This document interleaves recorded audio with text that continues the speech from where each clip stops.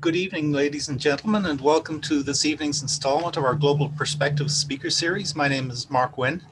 I'm a Vice President in the International Group here at the Dallas Fed and Director of the bank's Globalization Institute, which organizes these events. Our guest this evening is John Taylor, who is currently the Mary and Robert Raymond Professor of Economics at Stanford University and also the George P. Shultz Senior Fellow at the Hoover Institution. John is one of the most distinguished monetary economists of his generation and is the author of the famous Taylor Rule, which is widely used to guide and evaluate central bank performance. His public service includes terms on the President's Council of Economic Advisors as a senior economist in 1976 77 and as a member in 1989 91. He also served as Undersecretary of the Treasury for International Affairs between 2001 and 2005 Indeed, it was in this capacity that I believe John first visited the Dallas Fed to speak at a conference on sovereign debt that Carlos Zarazaga and I organized in 2003. John is the recipient of numerous awards, including the Alexander Hamilton Award and the Treasury Distinguished Service Award at the US Treasury, the Medal of the Republic of Uruguay for his work on resolving the 2002 financial crisis, the Truman Medal for Economic Policy for extraordinary policy contributions, and the Bradley Prize for Economic Research and Policy Achievements. He was also awarded the Hayek Prize for his book First Principles and Adam Smith Awards from the National Association for Business Economics and the Associ- Association for Private Enterprise Education. John will participate in a moderated conversation with Rob Kaplan, who is the current president and CEO of the Dallas Fed. Before joining the Fed, Rob was a professor and senior associate dean at the Harvard Business School, which he joined after a long business career at Goldman Sachs. We will be taking audience questions during the event, and we'd love to hear from you. If you would like to ask the speakers a live question, please click the raise hand icon on the bottom of the control bar to enter the queue. If you would prefer to submit a written question, use the Q&A button on the bottom of the control bar to submit your question. We'll try to get to as many questions as possible and also try to address questions in the order in which they are received. We apologize in advance if we do not get to your question. With that, I will turn the floor over to Rob. Rob? Thank you, Mark. And it's great to have everybody here. And it's particularly great to have John Taylor at the Dallas Fed. Uh, John has been a great friend and a coach and mentor to me, but he's been a longtime friend of the Dallas Fed. And so uh, it's a real honor to have you here. Uh, and for those in the audience, Mark Wynne alluded to this, but John is one of the uh, the giants of the economics field and the monetary policy field, and so we're we're we're we're thrilled to to have a great relationship with him and to have him here. And so, John, uh, I was going to start just to give a little bit of, of uh, for those who don't know you, a little bit of your background. You uh, went to Princeton, got your PhD at Stanford, and uh, and then you went on uh, to be professor at Columbia, Princeton, and then you have uh, been a longtime professor at Stanford, starting in '84. What made you become an economist? Well, I made you. Thank, and by the way, Rob, this is terrific. Thank you for having me on. It's a real pleasure to be back in Dallas, so to speak. I, uh, I got interested in economics as an undergraduate. Uh, I was originally interested in kind of math and physics, but uh, took an economics course and just kind of loved what was going on, applying these techniques to, to ideas which I think were important. And uh, did a, uh, a, senior thesis with some talented people uh, who got me thinking about models and stochastic processes and dynamics and believe it or not, I started working on policy rules back then. It's it's it's believe it or not, 53 years ago, and uh, my first policy rules. Uh, they were not the most sophisticated, but it was a beginning, and I liked the idea of of thinking about policy as a system, as a strategy, and it just was appealing to me. Basically, I think because of the models that people uh, showed me at the time. And over the years, you've had uh, a lot of folks from the Fed have been your students, and you've mentored many people uh, who've gone into central banking around the world. Have you always liked teaching students and mentoring and coaching people?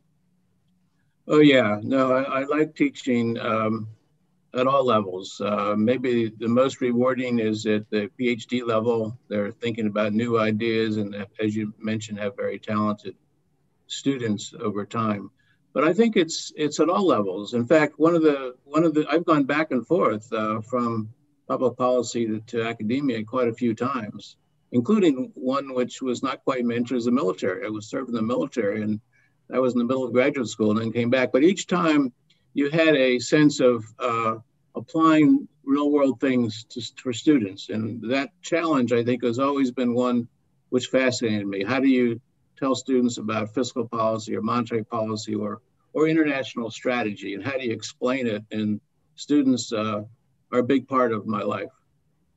So you, you alluded to this, but your first um, uh, time going into uh, the government was in, you had two stints at the Council of Economic Advisors, one from 76 and 77, and then once from uh, 1989 to 1991. Did you always know you wanted to do public service, and how did you uh, come to go to the Council of Economic Advisors? No, I didn't know it. I, I did know the idea of applying, I wanted to ap- apply things. And uh, yeah. as you know very well, applying things, if you're involved in it, in some sense, is an advantage. So I had an opportunity. Uh, I was a professor at Columbia. Phil Cagan was a colleague, and he knew people like uh, Alan Greenspan and and others. And so if a calls, hey, Taylor might be interested. And so uh, I went and did it. And it was the first which uh, was in the uh, Ford administration. Alan Greenspan was the chair. And then we stayed on uh, Carter, Carter administration. There was a turnover, but that itself was a fascinating thing to see how the politics changed. The economics didn't change as much as the politics. Is always something to keep in mind. But I, I learned a lot about um, what was what was applicable. What what could you actually bring from the from the public policy arena and make it useful in to study and to, and then come back again. That back and forth, I think, is is usually important in terms of finding ideas that are, you know, there's so many ideas we could work on. Those help focus on what the important ideas are. So your second stint at the CEA was 1991, and then you went back to Stanford and resumed uh, being a professor. And it was during that time, before your next stint in the government, you came up with the Taylor Rule. Uh, and for those in the audience, some are familiar with this, but and Mark Wynne alluded to it. Uh, probably in, in, before every FOMC meeting, uh, we go through a calculation here uh, with our team at the Dallas Fed, and I bet a lot of uh, Fed presidents do the same thing, where we look at the original Taylor rule and we look at derivations of the Taylor rule.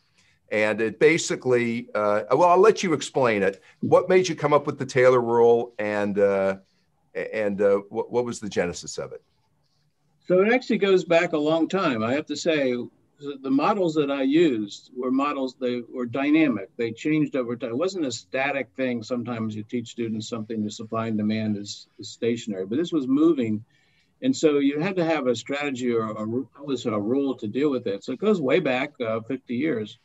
But then was what is the best way to do this? You know, Milton Friedman was talking about money growth rules and there were alternatives. But, but what struck me as more most suitable and most realistic and most useful was a rule where the interest rate was the instrument. And so then you had to think, well, what are the key factors? And so huge numbers of, of model simulations, experiments, what's realistic, and came up with this idea that, well, we can make it pretty simple if the interest rate rises by a certain amount when inflation rises and it uh, declines by a certain amount when the economy is in a recession. And hey, to make it simple, let's leave everything else out. Obviously, everything is is can't be left out completely, but that that was a simple thing, and uh, it it uh, it caught people's eyes and imagination very quickly. So I was I was pleased by that, and that caused a lot of discussion and what's wrong with it, what's good about it, uh, how does it apply to other countries, which was which was quite a surprise because I wasn't thinking about other countries at the time. So for, for those in the audience, every six weeks, uh, uh, the Federal Open Market Committee meets. And a lot of the publicity is about a number of things we do, but one of them, how do we do we increase, decrease, or keep the same the Fed funds rate? And this rule that John is describing is uh, is a guide uh, based on the level of inflation and whether it's high or low versus target and the out, so-called output gap if we're weaker or stronger in the economy. And that helps it's a reality check for practitioners like like me. Now back when you first did it the the neutral rate the kind of the equilibrium interest rate was much higher than it is today and we can go into later why that is. Have you adapted that rule in the years that followed Well, it wasn't easy to decide what the right rate should be back then. You know, no, no one had done this before. So I chose uh, 2% real. It was based on some history and some thinking, but it, and it was pretty close. And also a target inflation rate of two, which was, was long before the Fed had two out there, but uh, people had begun to talk about it. So, so two real plus two inflation gave you a nominal of four. And that's how it was originally, which, you know, interest rates were higher than that coming into it. We were still getting rid of inflation but uh, that that seemed to be to work pretty well. And then your question is how that changed over time. Well, it it's pretty simple in a way. You just change the two to one and a half or to one, and everything else is the same. Uh, you know why why change the degree to which the interest rate should change when inflation changes just because the normal rate is lower. So that's how I've always struck this issue. And quite frankly, the the two percent was you know was not rocket science in the first place. So the then the you know people came up and questioned it. I think probably I was more resistant than I deserved to be, but uh, there's some value to having a number that people can remember, and and and that it comes from some analysis of some kind. All right, and we're gonna we're gonna come back to that in a moment. You then did a stint at the Treasury. You were Undersecretary of the Treasury for International Affairs for four years. How different and that was a much broader experience than just economics. You dealt with a lot of things. How different experience was that? It was much different. Uh, for one thing, uh, 9/11 happened soon after I got there, and so that changed everything. You know, you're I was traveling to Iraq and Afghanistan, trying to get people together for this very unusual activity, which we had to engage in. Many, many meetings in the Situation Room, hundreds of meetings in the Situation Room I think it was uh, the idea for me looking back on it was to bring some economics into our foreign policy, which frequently gets forgotten and still gets forgotten. But we had the defense, we had the diplomacy, the State Department, but the economics were, I think, a big part of everything we did. And so that was to me a, a big part of what I was doing. I think we were we were pretty successful. We you know had a, a terrible damage. Uh, I was in Japan when 9/11 happened. I remember coming back to the U.S. Uh, on a huge military plane. The, the, skies were vacant; nobody was there, and we had to sort of get get going at the time. It was really starting from scratch, and I, I think the Fed did a good job at that point. Alan Greenspan was still the chair, and uh, but but it was really quite a remarkable experience. And then after that, of course, you know, what do you do next? And there were some international reforms on the development side. I think we needed to do more for uh, for poorer countries, and we tried to do more of that. So it was a multifaceted job, the inter- international job of the church. One of the best jobs I've ever had, quite frankly. And the time, maybe the time made a difference to it. So, so rolling forward, uh, we had the financial crisis, obviously the Great Recession, and uh, in the height of it, 08 and 09. I think it, it, you have frequently cited, and this comes back to the Taylor rule, that maybe the Fed left rates too low for too long. And it was one of the causes of the global financial crisis. And, and, and you might just talk about what, are, what were the risks of, keeping rates too low for too long and how, that, how might that have led to that crisis? Well, the, the Taylor rule, in more general ways to think about it, did suggest rates were quite low uh, in the period before the financial crisis. And I think to some extent that, you know, people at the Fed knew that. They were saying, well, we, we need to be extra low. There's a danger of deflation like Japan. We can't beat Japan. So I think there was a purposeful risk taking, if you like, where the rate was lower. And so that worried me at the time because the evidence was that this, this rule had worked pretty well, actually. It was one of the reasons why the, we had this uh, great moderation in, in the economy. It was very good. And so it began to worry me, and I wrote about it in advance of the crisis. This was dangerous. And what happened is the, the low, low rate causes a search for yield. It causes too much risk taking. And of course, there was a lot of that. Right. A lot of, a lot of overextension in the financial sector. And then when it eventually crashed, it was a big crash. So I, I think it, uh, the lesson there was very clear. It wasn't that something that many people wanted to hear at the time but uh, I think it was important to get out there. And, and, in retrospect, it was, I think, a very, very important aspect of what we did wrong. And I, I hope that I hoped at the time that that wouldn't happen again. So, but anyway, that was it was an example where basic economics, uh, is simplified, of course, by a rule, but it, there's many other ways to look at it. Uh, suggested that uh, we were taking some extra risks at the time, uh, even though people in charge thought that wasn't the case. So, roll forward from the crisis. One of the reforms in the aftermath of the crisis was much tougher capital requirements, stress testing for the banks, uh, because the big problem in the crisis obviously was risk taking, leverage at the banks. Uh, did the reforms um, did the reforms with the banking system did you do you think they went far enough? Did they do enough to help mitigate some of the risks you were worried about from keeping rates for too low too low for too long?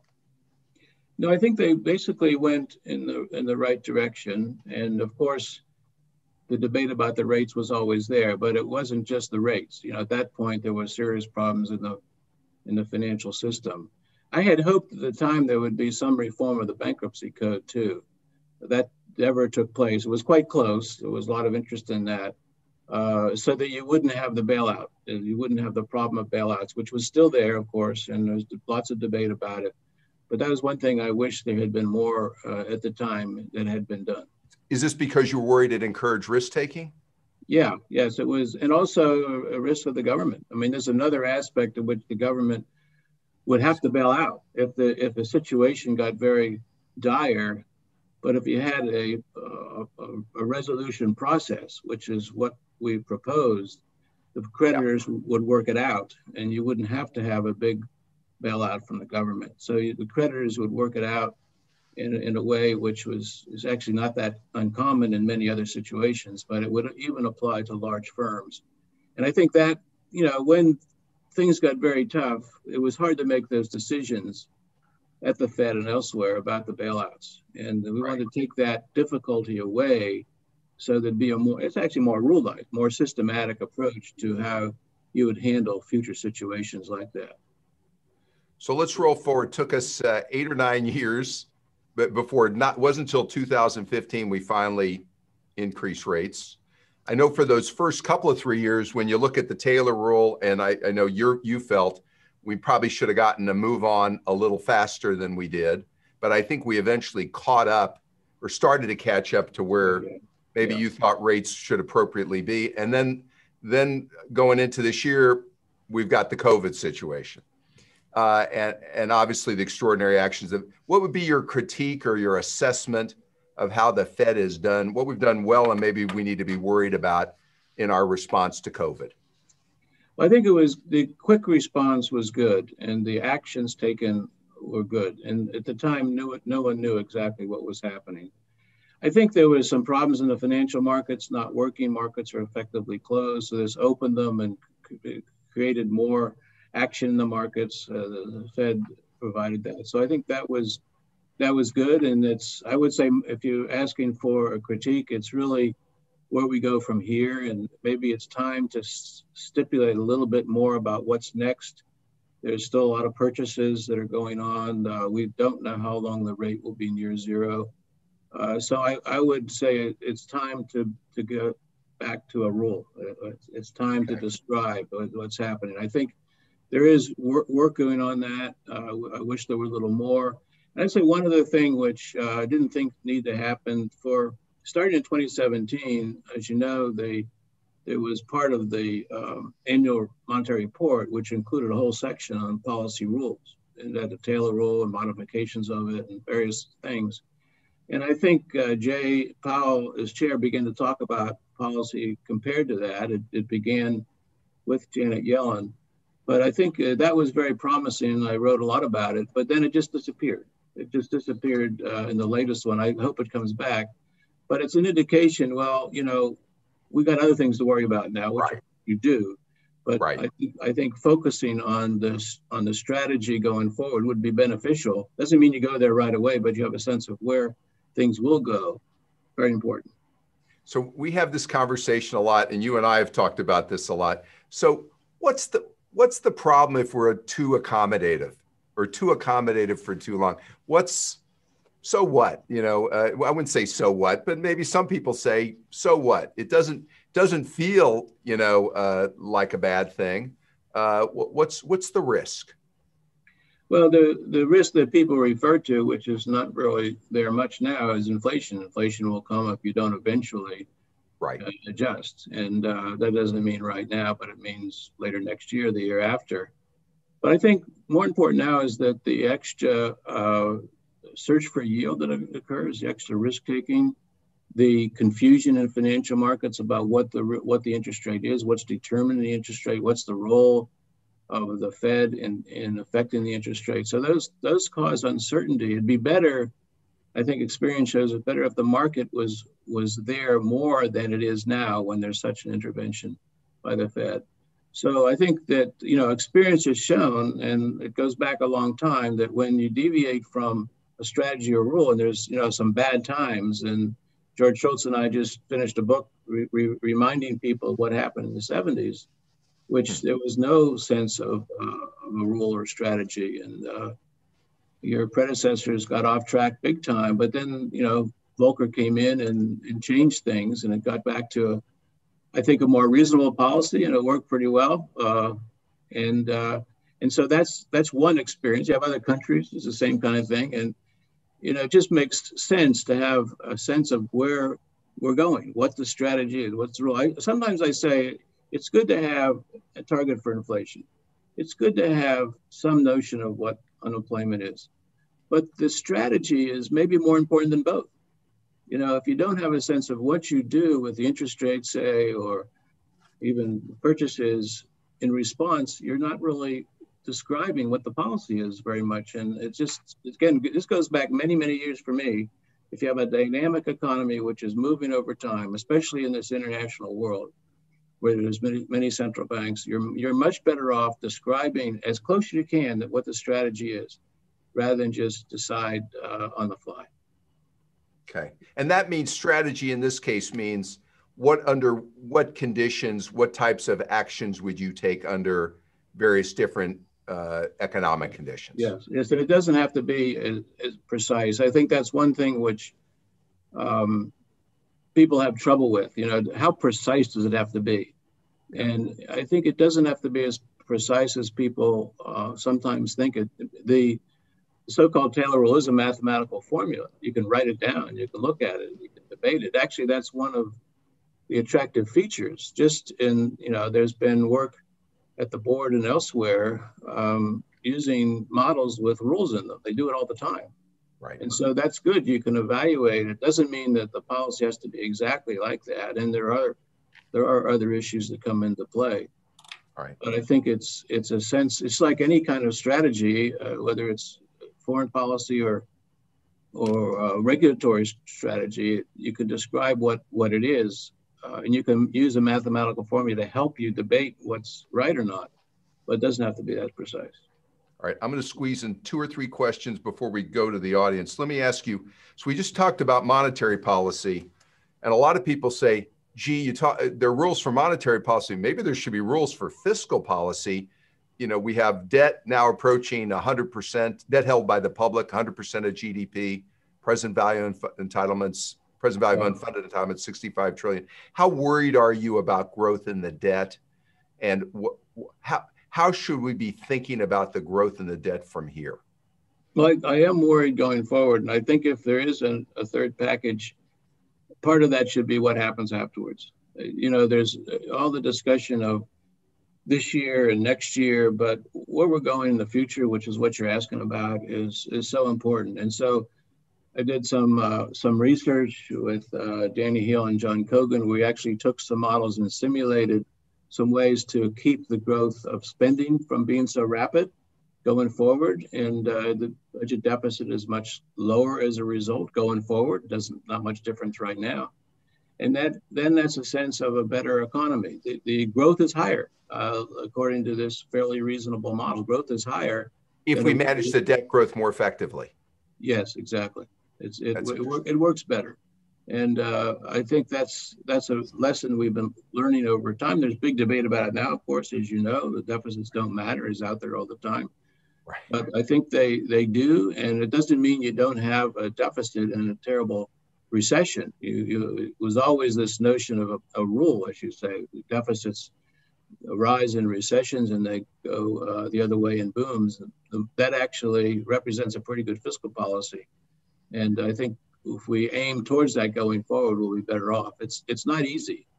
So people have talked about ways to get there. One is entitlement reform, maybe entitlement reform, spending uh, cuts, more revenues, which is a sensitive topic, obviously. And then the other thing is growing faster, finding ways to grow the workforce, to improve productivity. Which what did you what did you look at in your paper, or what are your thoughts on how we ought to go about this? We tried to make it simple. Just look at the growth of entitlement spending. Uh, so leave uh, military aside for the most part, discretionary spending aside. So right now there's a growth of entitlement spending, which is much more than GDP. If you bring that down, and I think in ways that are quite reasonable given the, the demographic situation, that's all that's required quite frankly. It's it's quite surprising to many people. That's all you need. And uh, now it's and, and you do get higher growth, and I think that's a benefit. I would like to see policies that, that aim towards higher growth, and that is regulatory reform, yep. uh, tax reform, uh, things that stimulate investment, stimulate in, innovation, uh, stimulate new ideas, and it's it's a huge good time to do that. Um, right now, in fact, I think we're seeing so much innovation from the private sector that's because of, of this terrible disease that we're facing.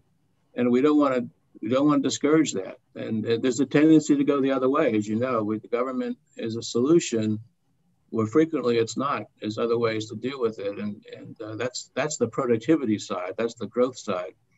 It's a, it's a separate but very important issue compared to what we looked at. All right. So let me let me talk to you about uh, inflation and the Fed's new framework, which you which we've talked a lot about. Uh, I guess I'll start with before I get to the framework.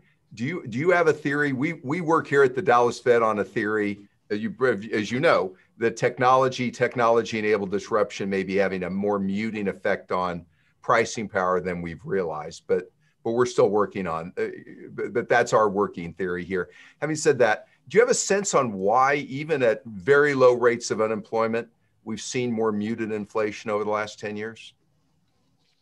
I think it's uh, it's because of the, the things you mentioned, quite frankly. It's uh, different technology, different innovation, which is putting downward pressure on prices. And uh, I think that's what's going on.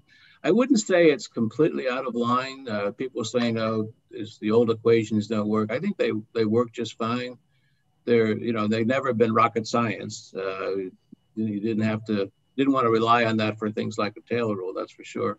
But I think they're they still have a message, and you shouldn't worry about you should worry about them. But in the meantime, you do have this uh, what's the right inflation target for the Fed, and that's what you've been working on. I, I tend to say, look, uh, let's not go let's not go high, let's not go to four or five or something like that. Right. Uh, the two is not so bad, and uh, I've been somewhat critical of the uh, the average inflation targeting. Um, I think here here is where it would be very useful to have some description of what happens next. And I uh, one of uh, one of uh, your colleagues in Texas, David Papell, has been working on ways to think about the decisions that you and your colleagues have made in the context of a rule or a strategy. I just read his paper. Yeah. Okay. So I think it's a, a very healthy way a good way to think about this, and it, he shows it's, it's it works quite well. And so that's the way you translate in what you've done or what you're going to do, but it's more flexible. If the economy does come back, come out of it, like some people are forecasting, rates will be higher as a result. Or if inflation picks up, rates right. will be higher as a result, or, or vice versa. What what should the Fed do if it turns out that this structural driver of technology, technology enabled disruption makes it so that uh, we're unable to reach the 2% target or average 2%, how far should the Fed, what should the Fed do? Should we, how far should we go? Or should we try to keep a balanced approach where uh, inflation isn't the be all end all and we weight it against how tight, uh, how low we can get unemployment? I think it's important to keep inflation there as a as, is something that you're focusing on. Uh, it's been good that unemployment has been low until this terrible crisis. Uh, but I think that represents better policy. You know, the, the rates started to rise in uh, 2016, 17, 18, 19 even. And that represented getting back to a normal policy. I was very positive about that. I think it extended the expansion beyond what most people thought at the time. And, and, and, and it did affect unemployment in a very healthy way. So that, that seemed to be representing good, good, good, interest rates were rising. Right. know, interest rates were rising during that period and capital was being allocated, I think, more efficiently. And then, of course, things changed and now we're trying to figure out what to do now and where we go forward. Right. I, I think the history is that it's it these rules, and if you want to have instead of 2% real, 1.5% or 1%, that's fine. I think you want to make sure the analysis is, is solid and clear and different people have different views about that. But I think that's the way to do it. You have this, you have this overall strategy, but there's things that change. Maybe the, the full employment unemployment rate has changed. Maybe the uh, equilibrium real interest rate, to use a technical word, has changed. Right. Bring those into account, and I think I think we'll be fine.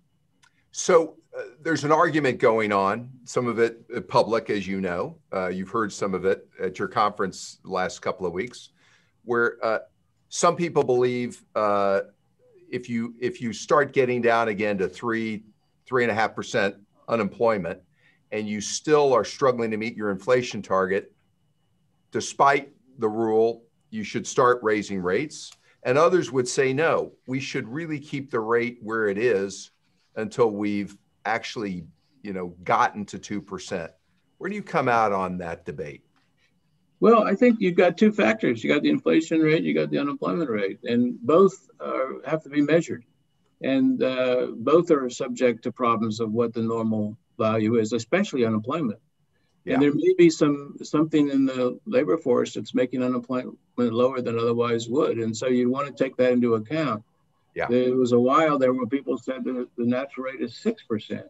Right. And maybe it's better. Maybe three and a half is four is better, and four used to be it. So, I think the research should be focusing on determining what that level is best as possible. You don't know, and then and then working that out uh, with a, a rule or strategy. Same with the inflation rate. Uh, you have uh, low inflation rate might be lower than otherwise because of the technological things that you're mentioning. We'll take that into account, and uh, and I think we should be fine. But there's always a trade-off, right? The world has this trade-off, yep. and not to even mention the international side of this trade-off. We're just talking right. about domestically, but international, there's another another aspect of this too. And I've written a lot about how I think maybe central banks have paid too much attention to the exchange rate and that's gotten them gotten them off and, and caused a relationship between the decisions which is basically harmful so that's another factor which uh, i'd watch for if, if uh, i were you.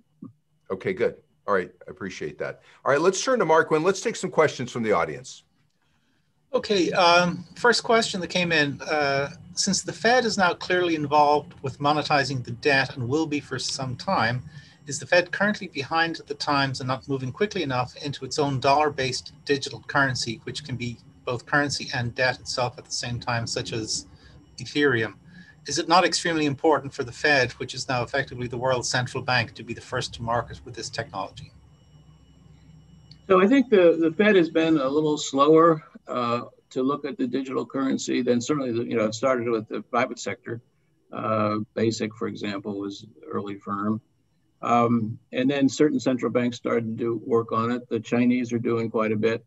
Um, I think it's a good thing for, for central banks to be looking at.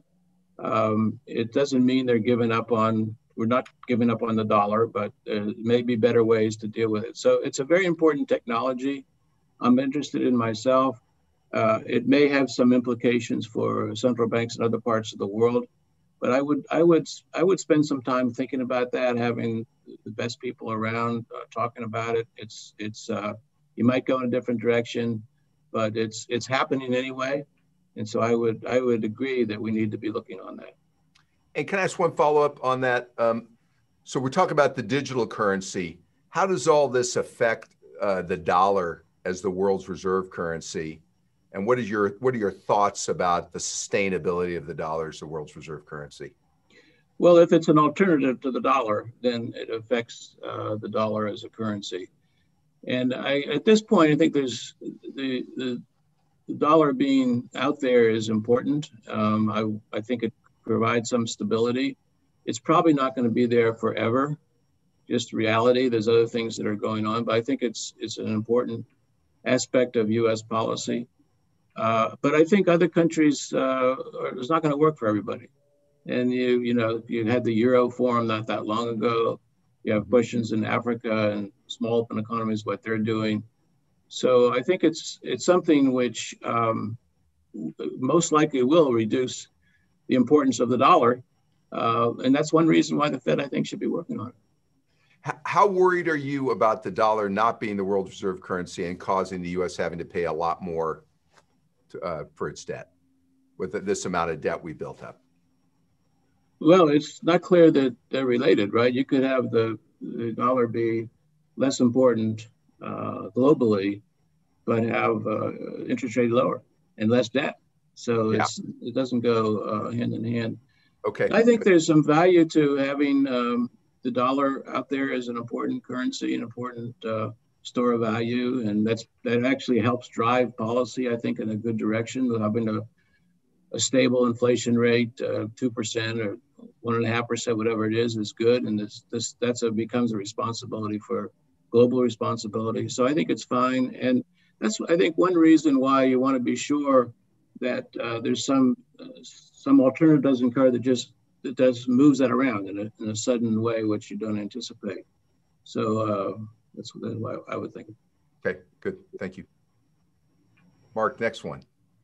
Okay, and just a reminder, if anybody wants to ask a question live, just click on the uh, raise hand icon. Uh, the next question that's been submitted, uh, do you think that the Fed would ever implement a negative interest rate target and how would they go about doing this practically? So I don't think so. You're probably asking the wrong person on this call, quite frankly, but I, no, think, I agree with you. I agree with your answer on that. Okay.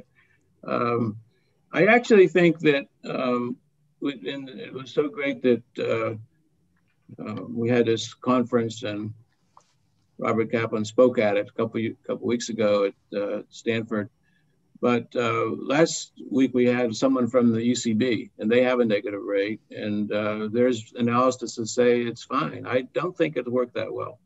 Uh, it hasn't hasn't passed through as much as you'd think. So, so I would not be going in that direction. Quite frankly, I think it's uh, there are people who say that's fine, but I think U.S. has a large capital market, a lot of uncertainty, which will be caused by that. I think it's it's fine leaving it above zero, and, and uh, that would not be a place I would go at this point. Okay, next question. In the uh, post World War II period, the Fed pegged interest rates to keep interest rates low on the large government debt. Any lessons from that period for today? Yeah, well, we got off of that. Uh, it took a while to get off of it. Hmm. Uh, this, uh, the Bank of Japan has done the other way now. They've targeted the longer rate. I don't think it's a good idea for us. I think that you know we have a, a system uh, where it's not exactly that way now, but the the Fed controls the money supply, which controls the short-term interest rate, which through the term structure of interest rates affects the whole term structure of rates, including longer rates. I think that's worked well if you if there's a specific effort to intervene at the long end, I think that is a, another um, confusing aspect of policy. I wouldn't really want to go in that direction. Now, to some extent, uh, the the quantitative easing has been motivated by that, right? It's not completely. Sometimes it's the rate. Oh, the rate is near zero. We have to have other means. We'll do quantitative easing, means in large scale asset purchases. But to some extent, purchasing to the longer end has been motivated by reducing the interest rates at the longer end. I think it's better if the markets are uh, are what determines the other rates, and the Fed focuses on I think it's liquidity, uh, money demand, money supply, and therefore the the short term rate. I think that that's a system that's worked well in the past and it'll continue to work in the future. And you're worried that if there's this distortion at the longer end what encourage more risk taking or will it will encourage behavior that may be uh, counterproductive? Yes, but in addition, what's the, who's who's to determine what that rate is? You know, I think there's a sense in which the the market um, will take various things into account, and there may be some reasons why the rate should be higher. I, I wouldn't want the central bank to fight those forces if it was there were forces which represented lots of individual decision making, lots of firms, lots of consumers. That seems to me you're getting in the way of something which economics would tell you works pretty well. And so, so why interfere with that? Okay. Uh, next question. Do you agree with the bailouts the US government made, or do you wish that the government had let more firms fail in the fallout from the crisis? It's not clear if that's the current crisis or the last big one. Well, the, the past crisis, uh, I was, was critical of the actions, and that's why I was very active to propose this uh, alternative uh, and uh, was to modify the bankruptcy code so that even a large firm uh, could go into bankruptcy, meaning the creditors would have a system to recover some of their debt. So uh, we didn't have such a law, and so that's one reason why the bailouts occurred. So I, I, I, think it's too bad we didn't have one put in place, and there may be a, a reason to revive it now. It was very close, actually, in terms of passing the the um, the Treasury under uh, President Trump looked like they were going to push it, but then things happened and there was not. It wasn't going far enough. But that's that's what I would say. That there's lots of reasons that the bailouts. It's it's big individual decisions. It's it's uh, affected by forces which are hard to know which is which are political, which is not political, and so it's better to, to let a, the system work uh, and the bankruptcy code is part of the rule of law. And that's what I would prefer. Maybe we'll get back to that in the future. Um, I don't know. I think it'd be. I think we'd be better off if we did. Okay, uh, we have a question, a live question from an audience member, Robert Potter. Robert, if you unmute yourself, uh, you can ask your question. You need to unmute. Okay, I had to go on mute. I'd go. like to put this question to the two of you, actually. John, first, I'd like to ask your view of cryptocurrency. Do you think it will live? Do you think it will ever replace the dollar? Do you think it will ever become a reserve currency? What do you think of it? So I, I like the idea of alternative currencies. Uh, it's, it's innovation, it's ways to transfer money more rapidly, maybe because of this disease, I haven't used paper currency in months. and uh, there's lots of lots of alternatives. So I, I like the thinking about it, and the, and I like I wish the, the regulators were positive about it. In terms of substituting for something, uh, I, I, think we'll have to wait and see how good it is. I mean, the dollar we, we discussed a few minutes ago works pretty well as a, a currency. So uh, I would say encourage, work on it. Don't try to stomp it out for uh, because of jealousy or other reasons. by the way, I think originally, even the BIS uh, was reticent to move ahead and to support this kind of research. I think they may be changing now with Carstens uh, as in charge, but uh, I'd say leave it. It should be left open, and uh, it's like anything. Why stifle uh, invention and innovation? So add my, I agree with all that. And the only comment I would make is uh, I, there'll there'll be a digital currency in the future. It may not be the ones that are being discussed today. You know, a number of the ones discussed today, Bitcoin, others, you know, sort of flunk the test of uh, price stability uh, and wide adoption. But the technology that has come with that, uh, uh distributed ledgers and others, uh, other technologies, they'll be critical to a, a, a digital currency that does ultimately meet the standards and is adopted. And I agree with John. I, I think innovation is inevitable and is uh, natural and probably a good thing. Okay, we have another live question from uh, William Pate. William, if you unmute, uh, you can ask your question.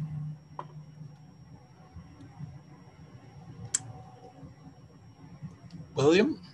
You need to unmute, William. You need to unmute. Hardest thing there is to do.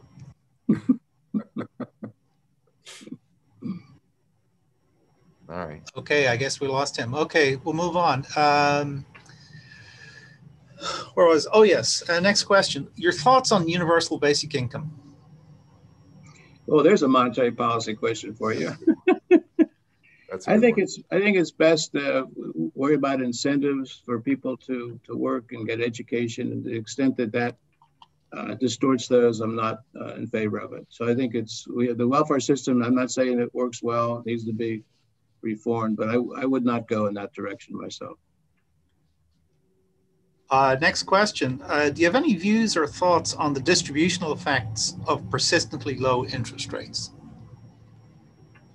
Yeah, so I think this is something which uh, we probably need more research on. I think the there's been a danger of certain sectors benefiting from the low rates versus the high rates, and it's it, it's uh, not necessarily a, always rich people or poor people or whatever. But I think that I would say this: uh, if rates are going to be zero forever, then that's going to affect the income of people, savings for people. They're not going to always be able to to uh, save to to get the reward that they should be having. So that worries me in terms of of a distribution effect.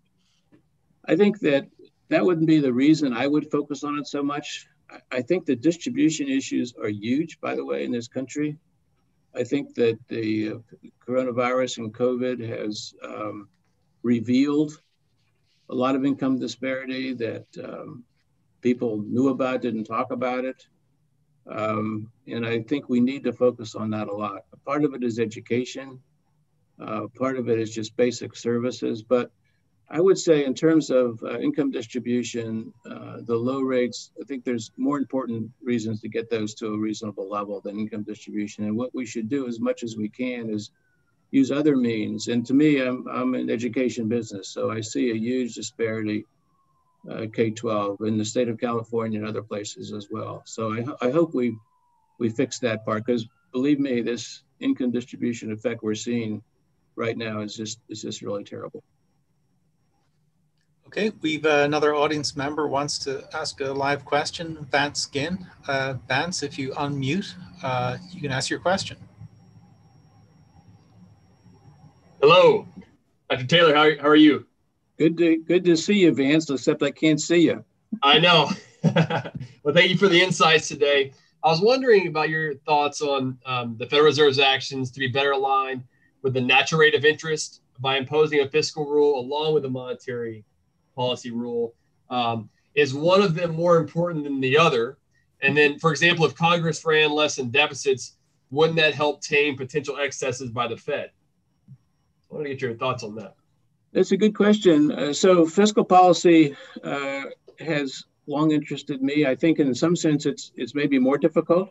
Uh, it's not like we have an independent fiscal authority. There's lots of people weighing in in different directions, but I think if there was some uh, understanding about, you know, balanced budget and full employment, and you have deficits and recessions, and you have surpluses and booms, that would be good. I would like to see go in that direction. I think it'd be better. And and as I think you're you're hinting, that will affect monetary policy because there are questions right now, and who knows what will happen in the future. About don't worry about the big deficits. The Fed is always there.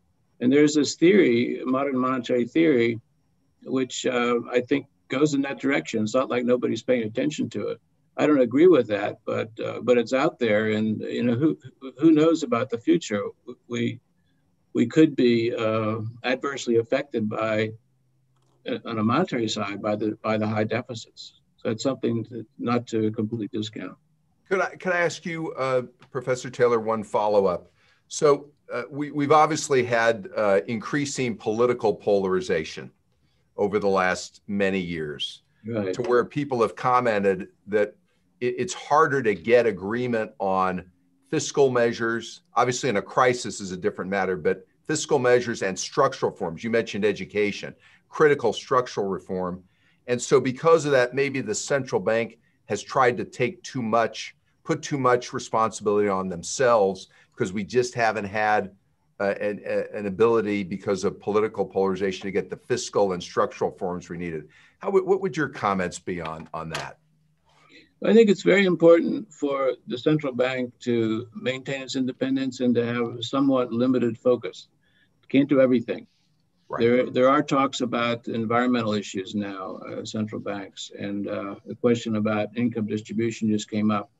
But I think the the more uh, institutions like central banks can focus on inflation, on the on the stability of, of the overall economy, uh, keeping inflation uh, low, two percent, keeping unemployment close to the natural level, the, the, better off we'd be. They can't do everything, and uh, I think the extent central banks try to do other things or try to go beyond their um, their specifics then it's dangerous. And I, I think what we, you know, we, we had a huge disagreement in the 70s about policy and, uh, and that, that was, that was changed, uh, was, didn't disappear in the 80s, but policy, monetary policy become more, became more focused.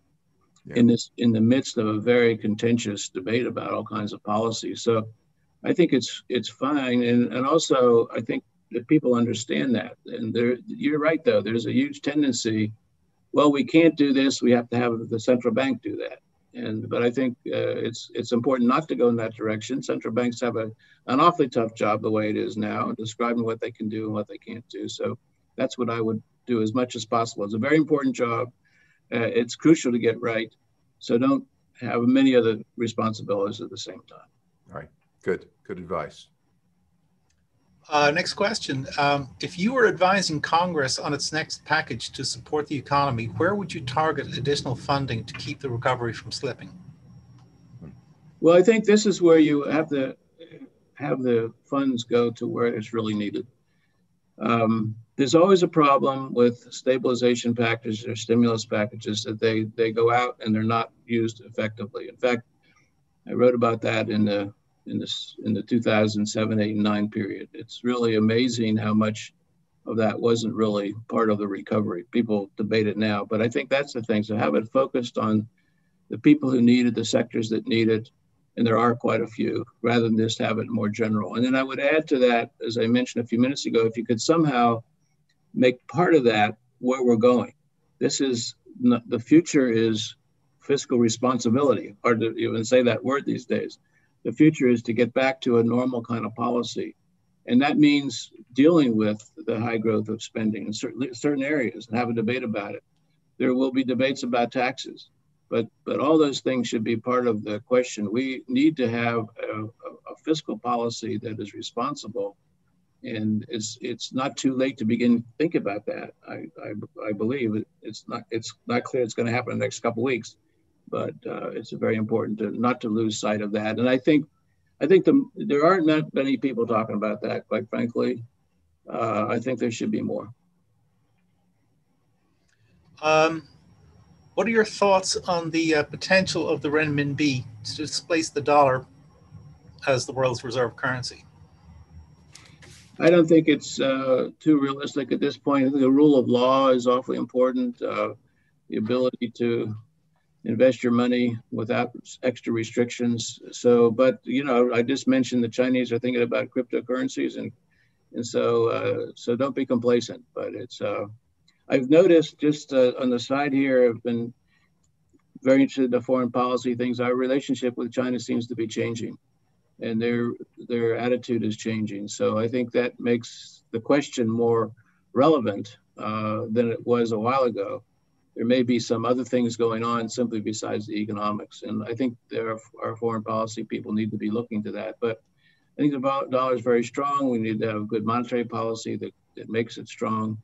And I, I don't see why that's going to change. Again, I'm, I'm more for rules, rules-based policy. If we can somehow get back to that, I think we, we'd be better off. That's what's worked. That is what that has worked in the past. And I think it's possible to do right now, and that would uh, preserve the role of the dollar going forward. So let me just follow up, given we mentioned RMB and China. Uh, I know you spent a lot of time on trade and your role as uh, Undersecretary of International Finance. What, what, what's your what's your take, your reaction to the, the tensions we've had over the last several years, particularly trade tensions with China? So I think what's what's important is to make sure that our overall objective of lower barriers is, is there. What has happened, I think, is China has been, um, for, for good reason, pointed out as very high barriers, have high uh, impediments. And so it's hard to use the usual in the trade negotiations when mm-hmm. one side is very high and one side is very low. And so that has caused this asymmetry. But I think we shouldn't lose sight of the fact that we'd be better off with lower barriers around. And uh, sometimes that happens because not everybody wants lower barriers. And I think the dialogue has changed a little bit, but it worries me that uh, we're losing sight of the ultimate goal, which is really free trade. Let's face it, that would be we'd be better off. But in the meantime, you've got this imbalance of, of uh, restrictions, and it's hard to use your usual trade negotiation in that circumstance. So we're into these very unusual kinds of discussions, but keep them in in in, in train.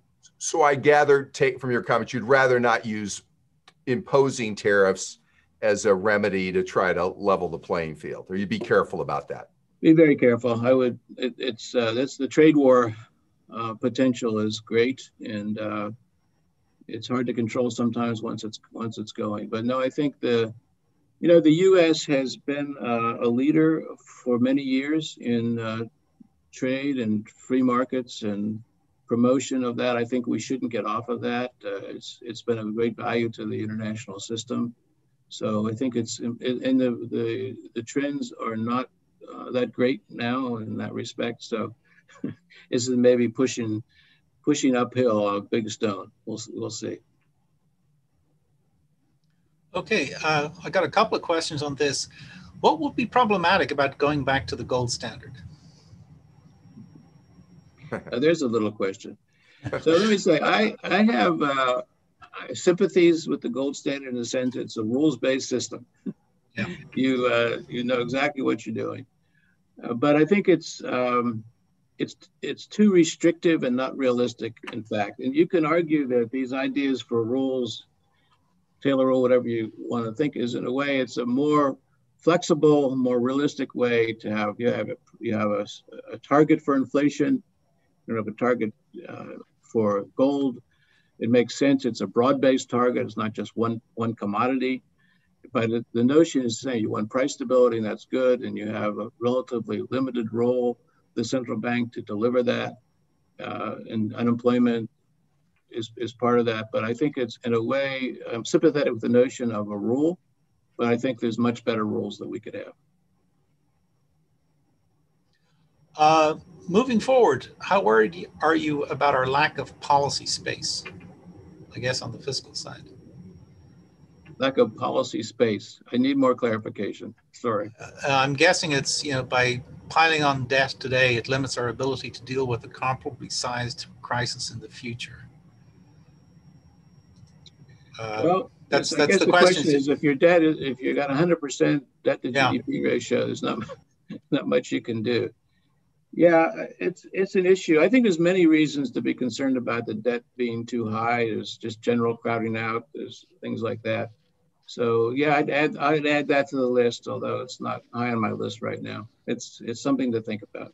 I don't know. Do you agree with that, Rob? You? Yeah, I do agree with it, I, and I think this explains why, uh, or amplifies why, in, in, not in the middle of a crisis, but as we get beyond the crisis, to the extent we can, taking steps to quote unquote normalize monetary policy, taking steps to moderate our debt growth in the out years, all that will give us more uh, bandwidth, uh, space, as the yeah. questioner asked, to deal with future issues. And I, I, do think that's important. I agree with that.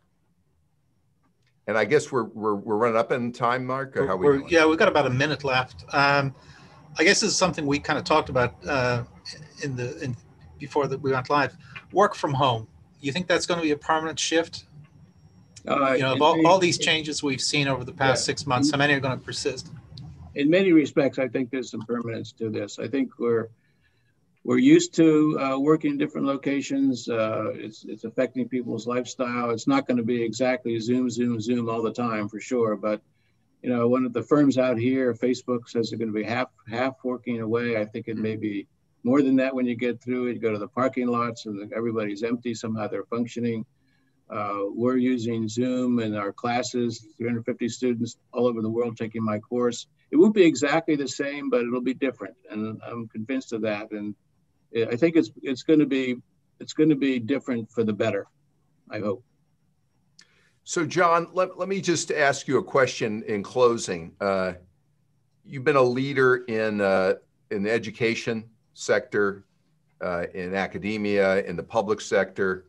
Uh, you believe in public service. We've got a big audience tonight. Uh, you've got uh, CEOs, mayors, citizens, and the one thing they probably have in common, the fact they're tuning in from wherever they are, is they care about the economy and they care about the country. What advice would you give to uh, people in the audience about how they can contribute, what they can do personally to help better the country, participate in public service, ways they can make their community better? So I think first of all, like you, I'm kind of disturbed by this uh, huge disagreement we have there for reasons that seem to be un- inexplicable. So I think the the analysis, you know, what's what's the right tax policy? What's the right economic policy? I think there's huge a- agreement about how we should discuss this. Not agreement on the results, but but sensible discussion. I, I would say try to encourage that and don't get torn apart by the what seem to be petty kind of partisan disagreements. The other thing, which um, I think maybe personally, if you if you have a way to go back and forth, and if you're in business, you know, maybe take a leave or do something different for a while in between jobs, because I think there's so much to on both sides, uh, whether it's academia or private sector, public sector, that, that you can learn from that. So I think if you just stay in one the whole time, which of course many people do. It's uh, it's not that great. I mean, you yourself, Rob, have, have chosen to take different different uh, types of professions, and I think that's I think that's something that be should be emphasized. It's actually very American. You know, many countries uh, I'm dealing with uh, public officials in various jobs. Frequently, they're in that job all the time. They're in the in the Ministry of Finance forever but we have a back and forth more than you know more than other places, and I think that's good. It's part of part of the system in the U.S. and I, I you know I'd like to continue with that. You know, citizen soldiers, whatever it happens to be, very important part. So I would I would emphasize that too. All right, John. Thank you for being here. Thank you for your leadership, and we look forward to having you back regularly in the years to come at the Dallas Fed. But we uh, really appreciate the conversation tonight with you. Thank you so much. Thank you too, Mark. Well, thank you all for joining us this evening. Apologies if you submitted a question that we did not get to. Uh, you'll soon receive a survey asking for feedback on this event, and we'd very much welcome your candid responses. We hope you will be able to join us for some of our upcoming Global Perspectives events, which will feature former Bank of England Governor Mark Carney and former Texas Speaker of the House of Representatives, uh, Joe Straus. Details on how to register for these events can be found at dallasfed.org. And with that, we are adjourned. Have a good evening.